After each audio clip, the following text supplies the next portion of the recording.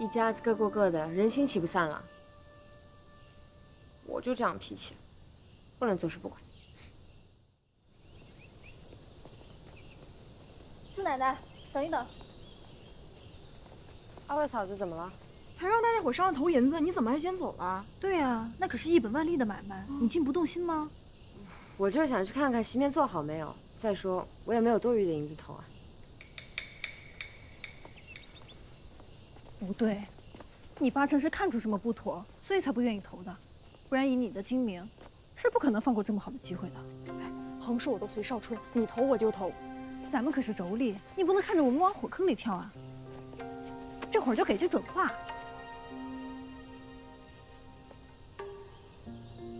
其实我猜三姐是遇上难处了。啊？不会吧？我才刚留意了。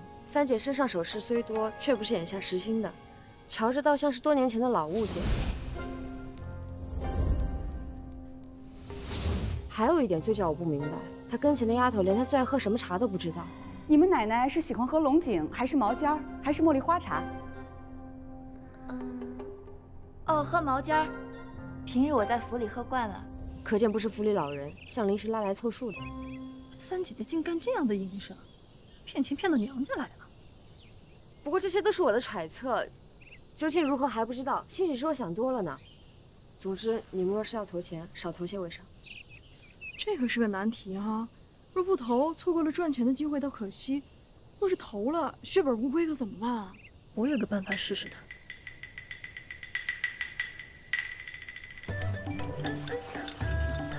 瞧瞧，就算是寻常家子，也不可能苛待下人啊。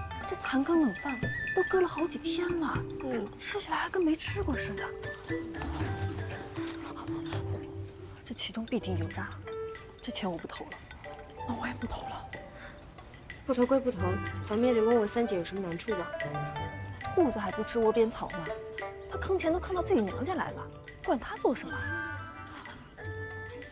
我还有大姨和孩子要管，也没有那么多心思了。行了，走了。让人扫兴，白空欢喜着。那我去跟梅姨娘说一声，让她也不要动，省这么一钱。走。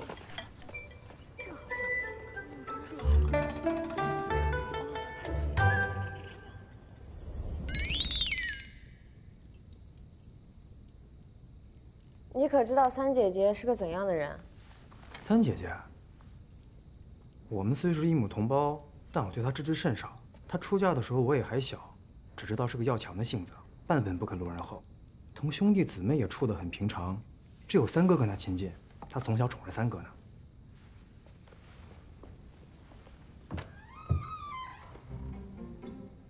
眼下三姐姐怕是遇上难处了，咱们要不要帮帮她？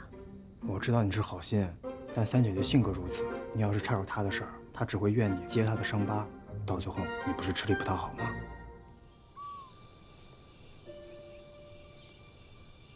又在琢磨什么呢？我在想，三哥平时虽游手好闲，但绝不会偷钱。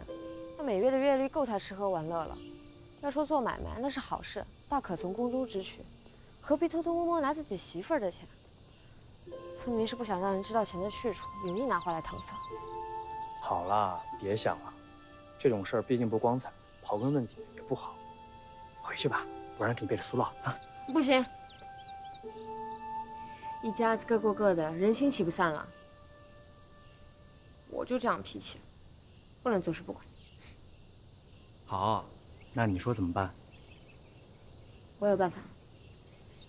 哎呦，太好了，太好了！哼哼，你看看，永荣，三姐姐，哎。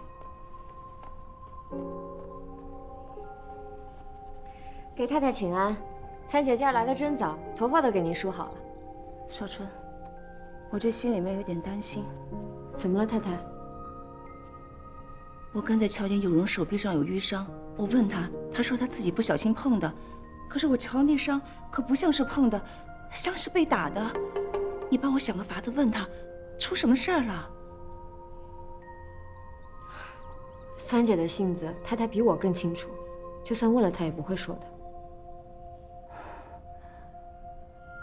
这可怎么办呢？你三姐姐命很苦，我生她是难产，恰巧那时候老爷官途不顺，算命的说她方父母，所以家里上上下下都不待见她。后来她及笄，老爷就跟他一位同僚定下了这门亲事，谁成想这个亲家骤然离世，方家就家道中落了。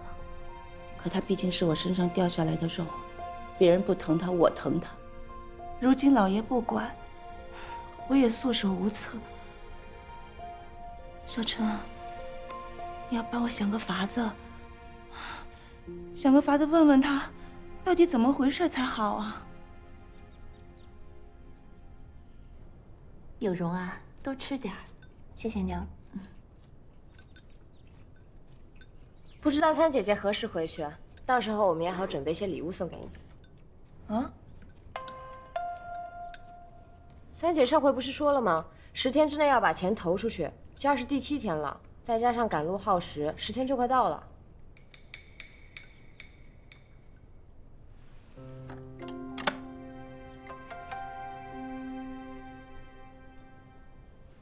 三姐姐这是怎么了？难不成是码头停运了？得我没把钱投出去，不然真回不来了。啊，原来是真的啊！谁说码头停运了？我这是回了娘家欢喜，一时忘了时间。等吃完这顿饭，我就要回去了。着什么急呀？这不还有姑爷吗？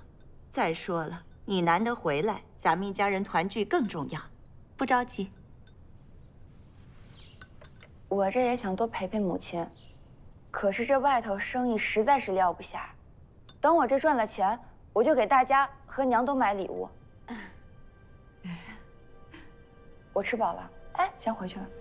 有容，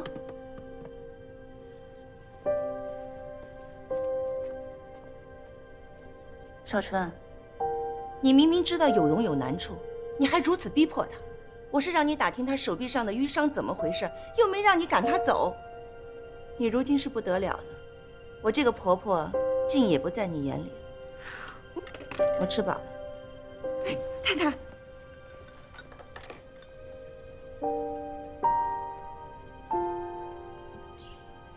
还是我们四奶奶最厉害。嗯，厉害？什么厉害啊？这三姑奶奶要是再不走，谁知道会想出什么捞钱的方来？亏得我们四奶奶聪明，早早把她撵走了，咱们大家也省心。哦，是是是，少春一直都很聪明，对吧？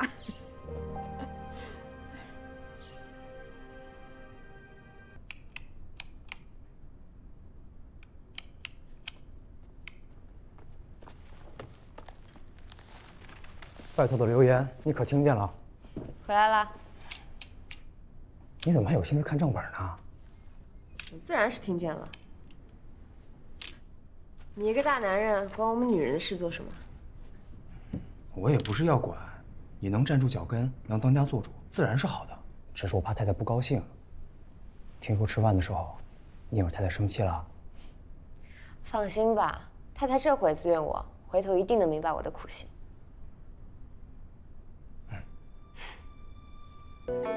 太太，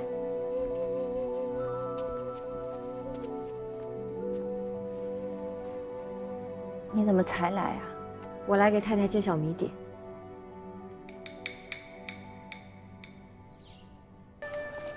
三姐姐，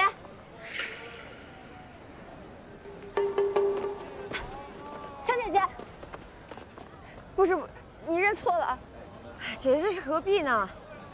来。你把包袱先给我，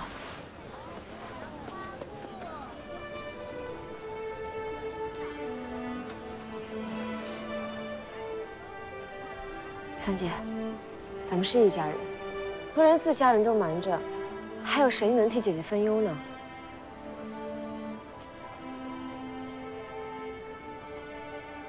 我当姑娘的时候，家里人就不待见我。我能跟谁说去？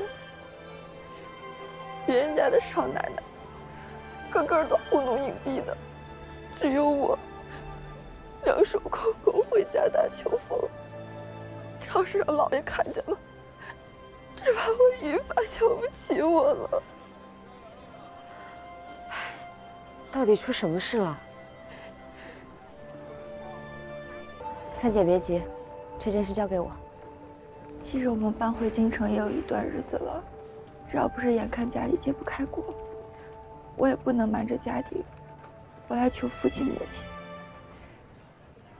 可是到了，我又张不开嘴了。灿姐放宽心，我既然知道了这事儿，便不会袖手旁观。